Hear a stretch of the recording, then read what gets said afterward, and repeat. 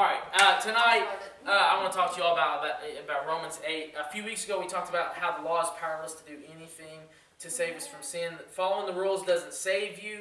Uh, you're powerless to really do anything to stop doing evil. Sin is in our very nature.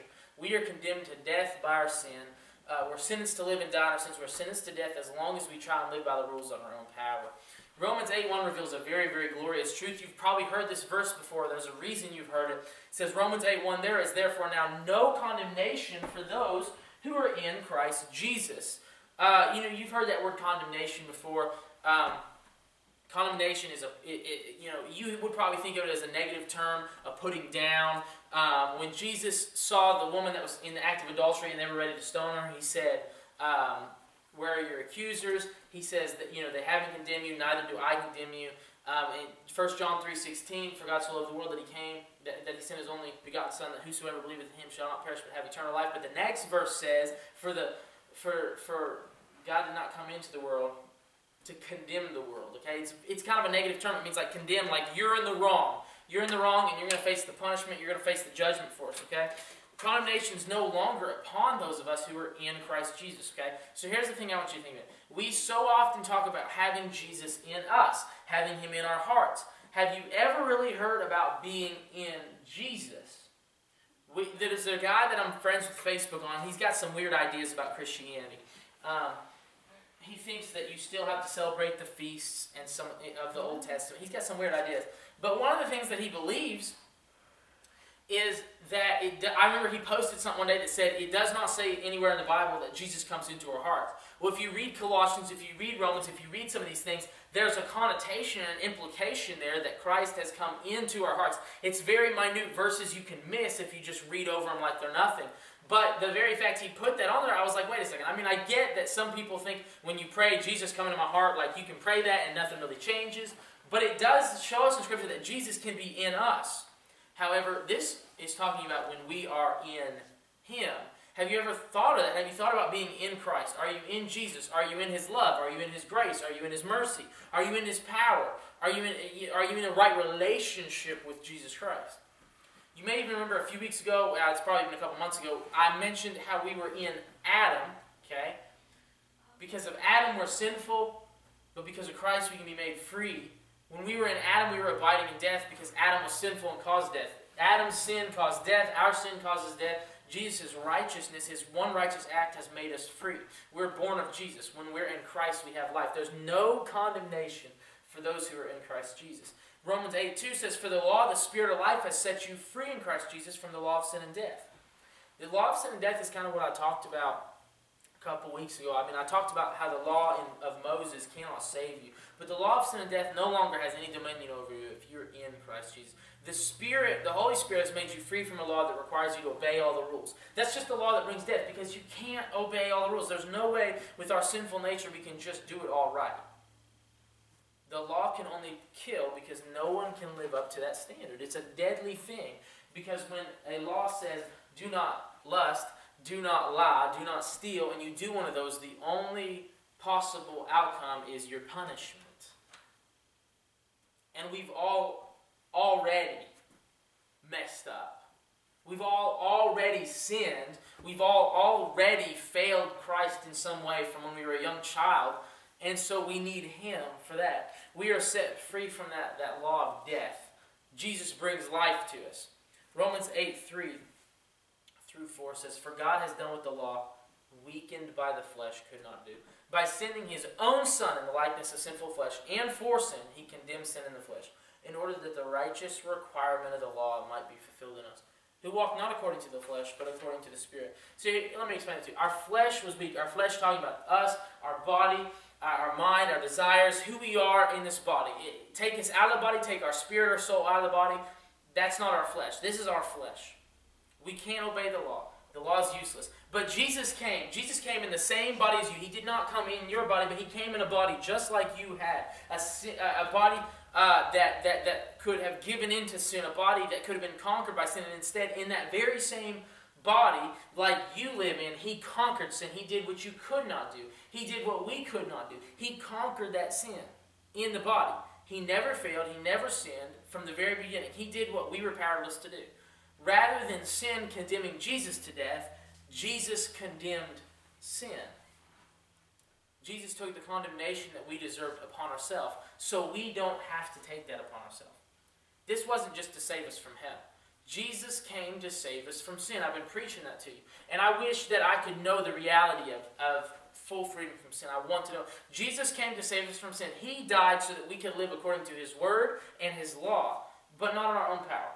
It says that we He came and, and died so that we could meet the righteous requirement of the law. Well, we can't meet the requirements of the law. We've already sinned. We've already failed, and yet His righteousness can be placed upon us because the purpose is that we would fulfill the law. The, his purpose is that we would obey the law, although we can't in our own power.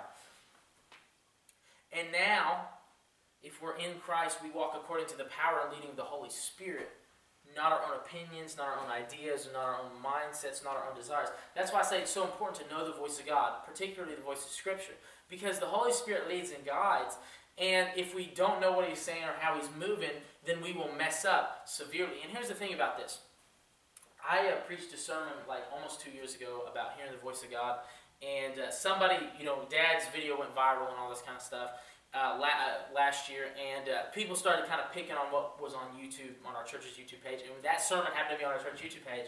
And a lady actually made a video and kind of accused me. It's about me. So if you type in uh, Micah Coverstone, I'm sure it'll pop up.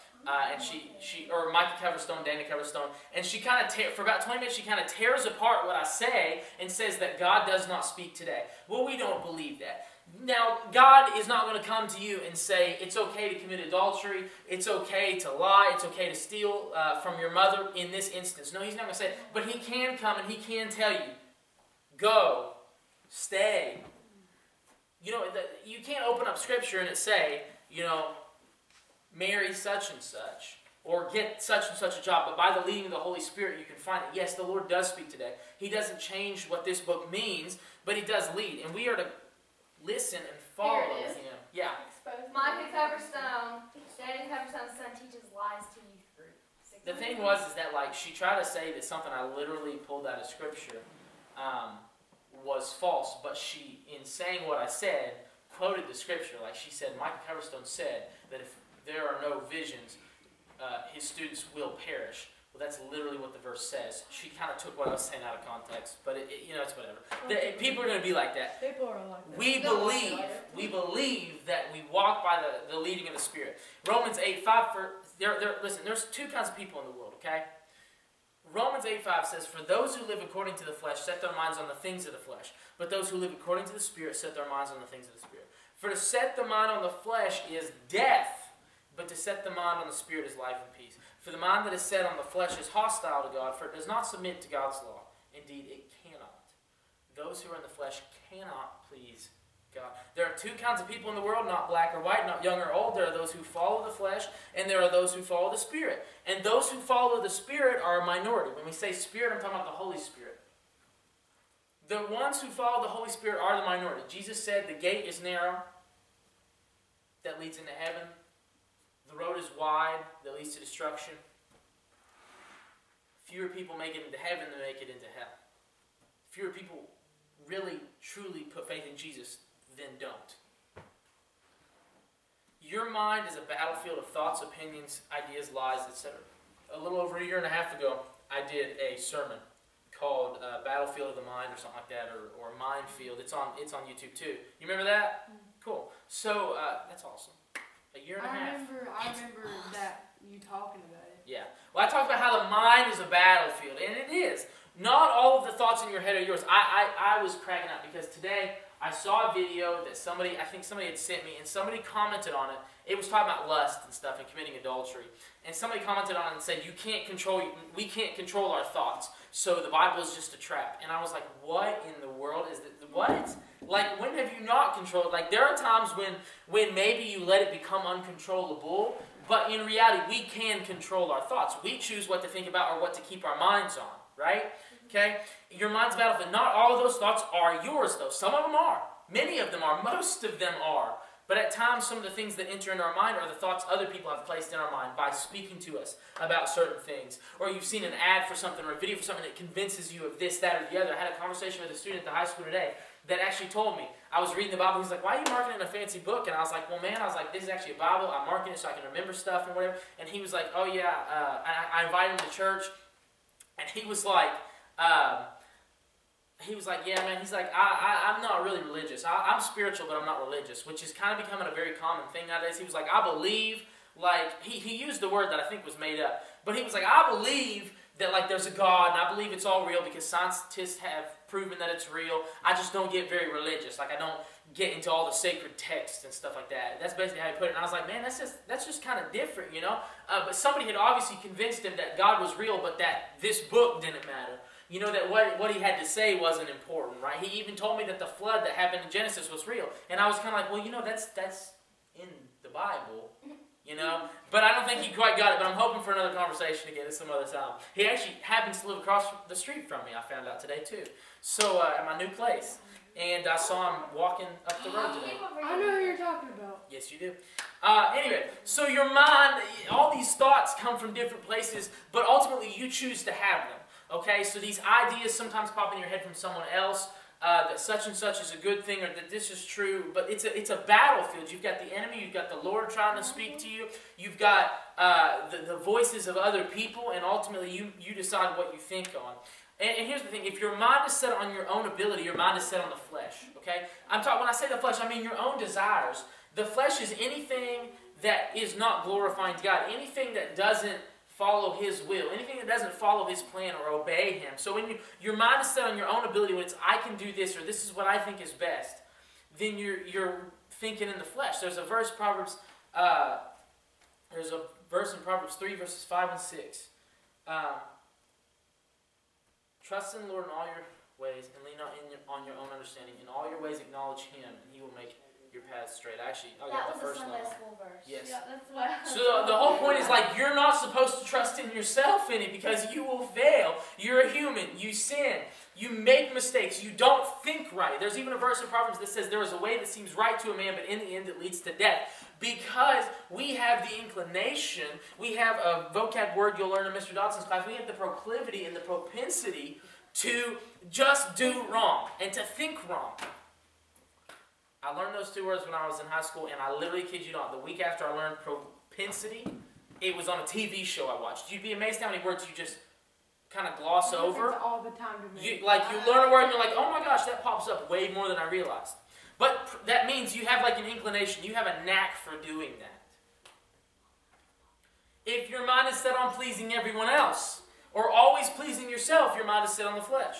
Sometimes we're following the flesh when we seek to serve God. And this is what I really want to spend a little bit of time talking about. Sometimes we are following the flesh when we seek to serve God. We try to determine what God wants us to do rather than actually seeking Him for an answer of what we ought to do or looking to the scriptures to find what we ought to do. give you a perfect example. How many of you know what VeggieTales is, or you've heard of it at least? VeggieTales. It's an old, old Christian, you know, show. Phil Vischer was the guy that created the characters. Phil Vischer and Mike Nawrocki. Y'all can put, put down your hands. Uh, Phil Vischer was the guy that made it. Okay. Phil Vischer created these characters, and you know that when I was a kid growing up, I thought he was still over it. Probably up until I was probably 15. I didn't even realize what had happened. But when I was probably about four or five years old, when VeggieTales had only been about nine or 10, 11 years old, he lost the company.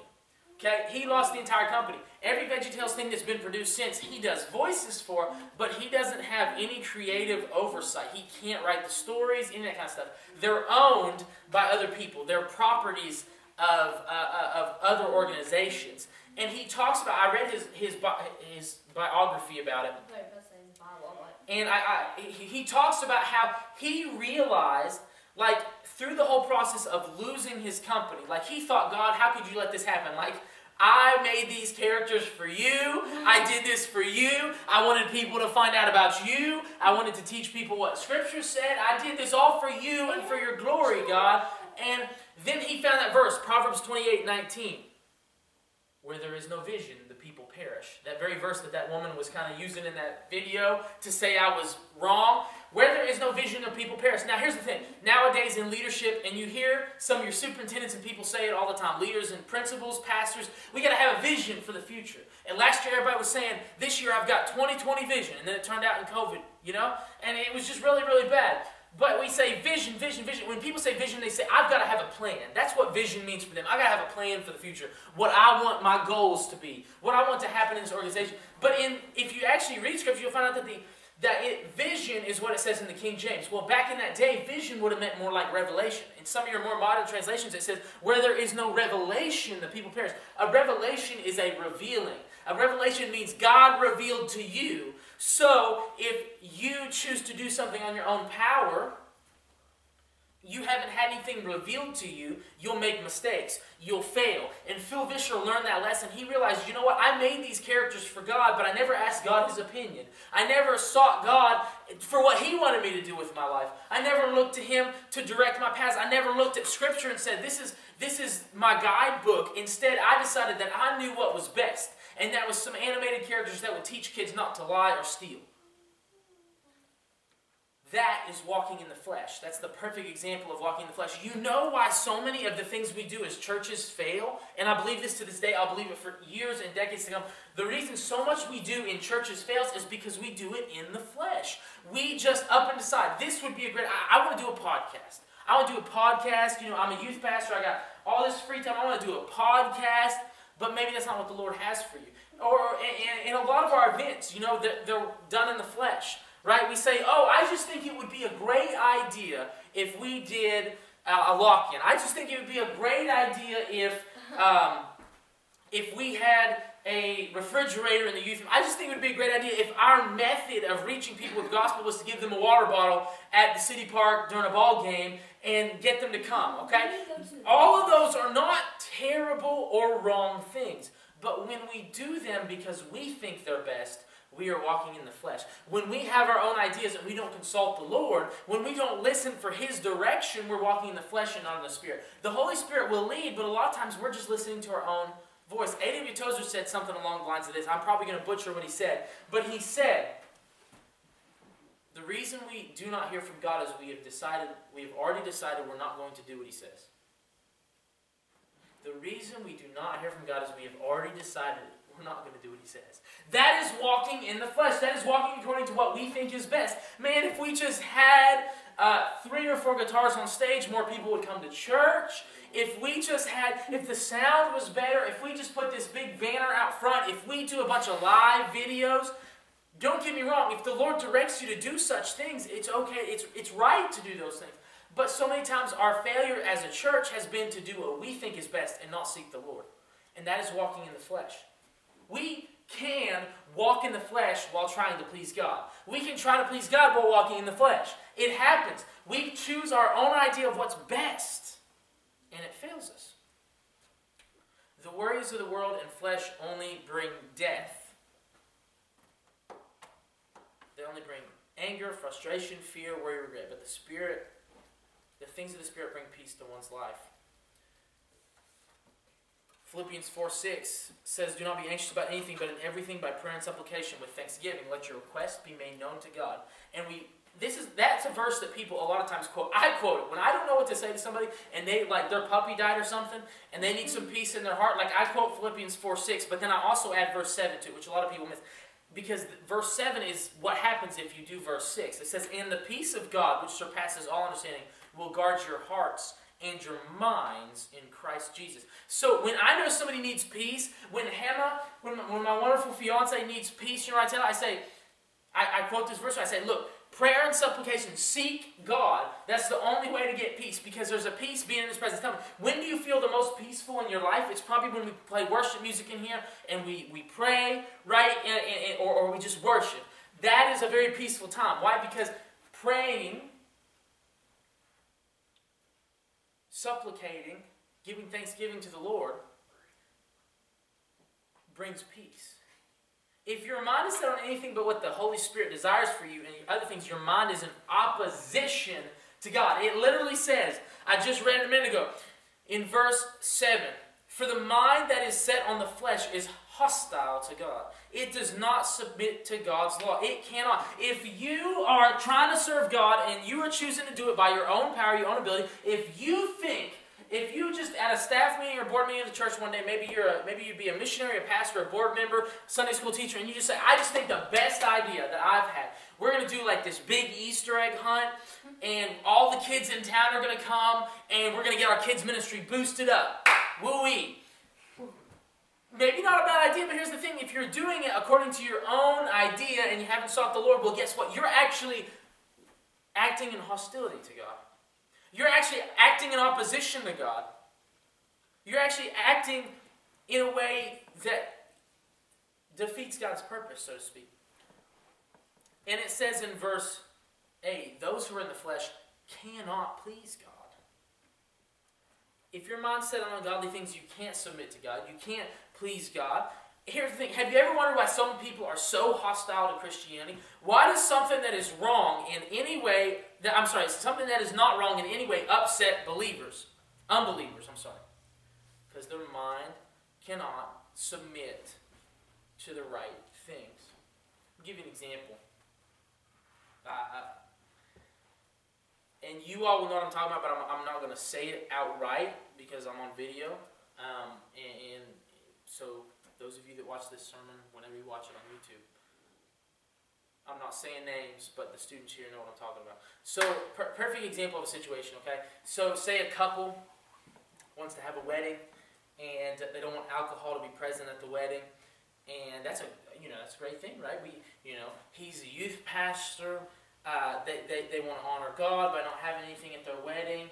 Uh, but somebody gets mad because they just cannot help but have one alcohol at the wedding. Why? What's so wrong with saying we don't want somebody leaving our wedding drunk and getting in a wreck?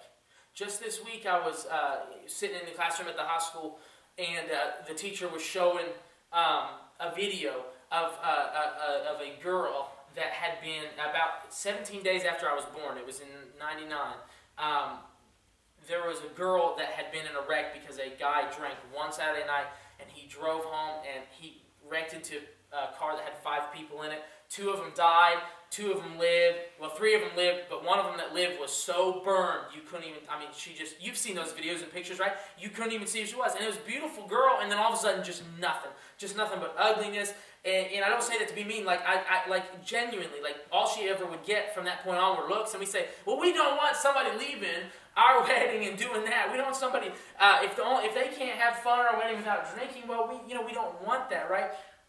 Why is it that somebody can get so so angry when that's the decision you make? I mean, there's nothing wrong with it. We right we we we the people they they do it in good standing. They do it for a good reason, but somehow, some way, somebody can't accept that truth.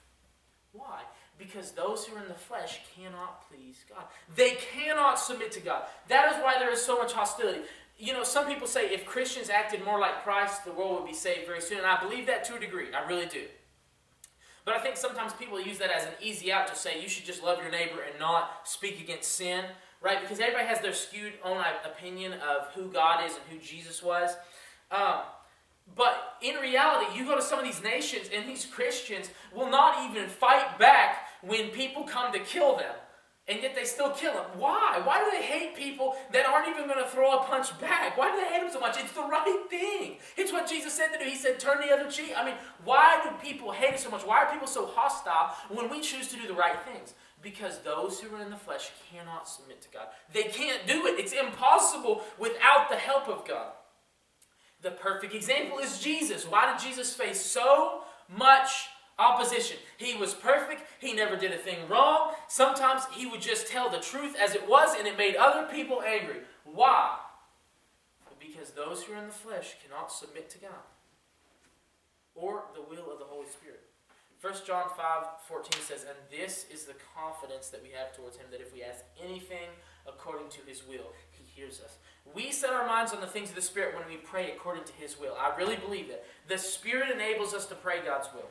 One of the things I, I say often is, is pray what's in Scripture. When somebody, I think I brought this up last week a little bit, but when somebody is not saved, and I begin to pray for them, I always pray, okay, God, Scripture tells us in the New Testament. Scripture tells us that it is not your will that any should perish. You tell us that, and I can't remember if it's first or second Peter, but in one of them he says that. It's not God's will that any should perish, okay? And then this verse says, if we pray anything according to his will, he hears us. So I say, okay, God, even if I'm the worst sinner I can't be right now, even if I failed you in every way, like, I know it's not your will that such and such goes to hell. It's not your will that they perish. And if I pray your will, you'll hear me. So, God, I pray that they don't perish. I pray that you save them. I pray that you deliver them from sin. I pray that you make them new. I pray that you give them a new heart, a new uh, mind, a new soul, a new, new uh, a new life. Because when we pray the will of God, that is a way in which we are living by the Spirit. And our mind can be set on the things of the Spirit when we pray that way. The last few verses of Romans, uh, of the passage particularly that I'm talking about in Romans 8 is, You, however, are not in the flesh, but in the Spirit, if in fact the Spirit of God dwells in you. Anyone who does not have the Spirit of Christ does not belong to him. That's very, very important theology right there, you got to understand. If anyone does not have the Spirit of Christ, they do not belong to him. But if Christ is in you, although the body is dead because of sin, the Spirit is life because of righteousness. If the Spirit of him who raised Jesus from the dead dwells in you, he who raised Jesus Christ from the dead will also give life to your mortal bodies through his Spirit who dwells in you. At the beginning of this chapter, I said, I talked about how you are in Christ, you are in Jesus. There's great importance placed on that, on being in Jesus, in Christ. Now the attention's turned the opposite way at the end of this particular passage. We are told that we are walking in the Spirit if the Spirit is in us. If Christ be in you, we are to be in Jesus Christ and He is to be in us. It works both ways.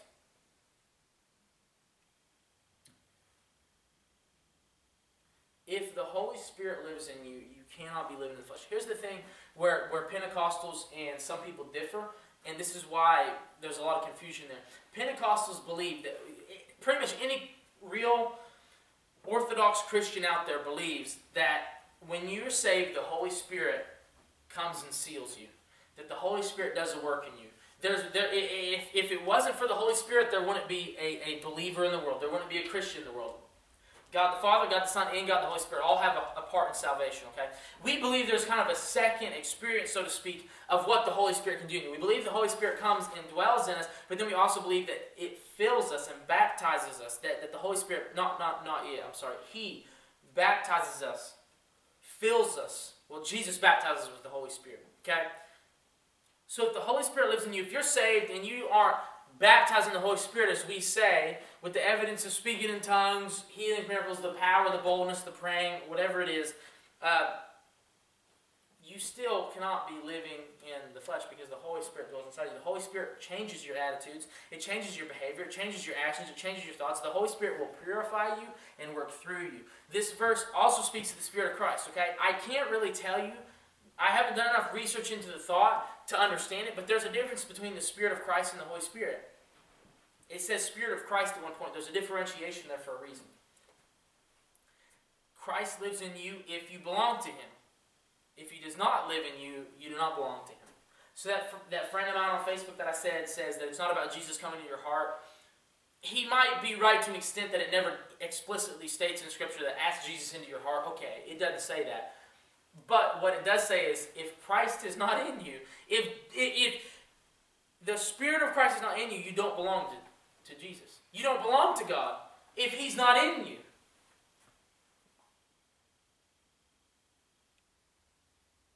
If He is not in you, you don't belong to Him. And that's the reality you have to understand. That if, if Christ is not in you, in your heart, in your mind, in everything about your being, he, you don't belong to Him. You're not His child all that doesn't matter. If, if Christ isn't living in you, you're probably walking in the flesh. No, you are walking in the flesh because you can only walk by the Spirit if you follow the Spirit's leading. The only way you can follow the Spirit's leading is if you have Christ in you, if you have the Holy Spirit in you, leading you and guiding you. You ever just had that gut feeling and you knew something and you knew you had to do it and it turned out that you were right? Sometimes the Holy Spirit leads us. Now, sometimes we're wrong with our gut feeling, sometimes we're wrong with what we think. A great example of the Holy Spirit's leading is if you ever, I know you all don't like to read, but I'm telling you, once you really start to read Scripture, you'll learn that there's a lot of other books that are great out there that, that reinforce the ideas in this book. And one of those is The Cross and Switchblade by David Wilkerson. David Wilkerson died just about 10 years ago this year and he, out of a car wreck. He was the guy that started Teen Challenge every year, and those of you that attend on Sunday mornings will probably remember this. Every year in May, typically, we have some ladies come and they do like skits and stuff, and like they, they, they talk about their testimony of being free from drugs and all this other stuff. That is Teen Challenge. Okay? Teen Challenge was started by David Wilkerson, who went to the streets of New York just following the Spirit's leading. It's an incredible story about what happened and how God led him to go to New York and start this organization, reach out, and millions, not, I shouldn't say millions, not millions, but thousands upon thousands of people over the past 60 years have benefited from that ministry. Not just benefited from it, but been saved, been redeemed, been made new. Drugs have been out of the system. They've been freed from pornography and, and drugs and whatever it is, any, any of those sort of addictions, all because he followed the Spirit. He didn't sit and pray for hours on end and say, Oh God, just tell me what I need to do and give me this sign if I'm supposed to go. He just trusted in the Lord in that moment that this is what I need. He knew when the Spirit was speaking to him. And there are times when you're going to need to pray for an answer because it doesn't come as clear. But there are other times when the Spirit can lead you in a moment to say and to do what needs to be done. And you've seen that work sometimes here in these contexts, maybe at camp, maybe at, a church service. There are times when people walk in the Spirit that don't always walk in the Spirit all the time. There, there are times when people uh, I should say walk in the Spirit, when people follow the Spirit's leading that don't do it at all times. Here's the thing it's the Holy Spirit that raised Jesus from the dead. and It is the same Holy Spirit that can give you life and power to live as God wills. Think about that. The Holy Spirit that lives inside you is the same Holy Spirit that raised Jesus from the dead. There's a Jeremy Camp song that speaks of this. The same power. Look, look up Same Power by Jeremy Camp the same power that rose Jesus from the grave, and talks about how that, that same power, the Holy Spirit, lives inside of you.